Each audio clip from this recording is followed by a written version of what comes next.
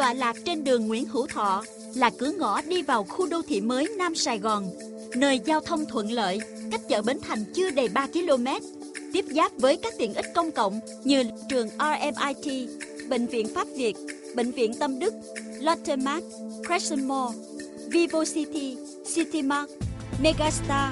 Thế giới trẻ thơ Kids World. Sunrise City là một trong những dự án khu phức hợp căn hộ cao cấp hiện đại lớn nhất Việt Nam hiện nay với tổng đầu tư lên tới 500 triệu đô la Mỹ và tổng diện tích 51.260 m2.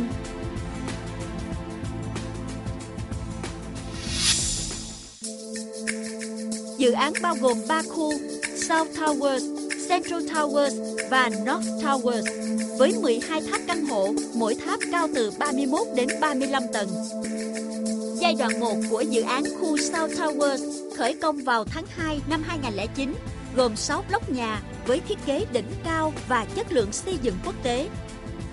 À, để đảm bảo tiến độ ờ,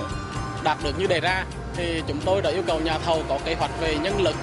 ờ, từng giai đoạn 1 Ví dụ trong hiện tại thì ờ, hàng ngày số lượng công nhân ở công trường đã lên tới là 1.800 công nhân. À, ví dụ như ờ, tháng 9 vừa rồi, đúng như cam kết đầu tiên đối với khách hàng đó là chúng tôi đã bàn giao khu văn phòng về công Vietcombank với 5.000 m2 vào đúng ngày 30 tháng 9 đúng như cam kết lúc đầu với chúng tôi với khách hàng. Ngày 23 tháng 10 năm 2011,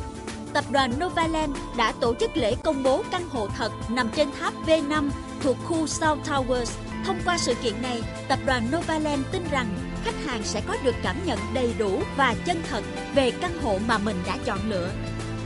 Đến nay, Sunrise City, khu South Towers đang trong giai đoạn hoàn thiện và sẽ giao nhà cho khách hàng vào tháng 6 năm 2012.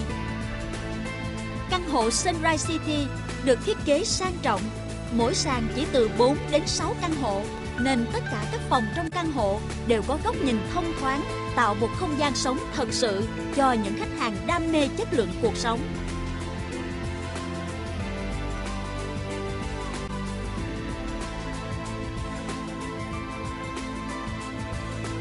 Song song với việc hoàn thành khu South Tower,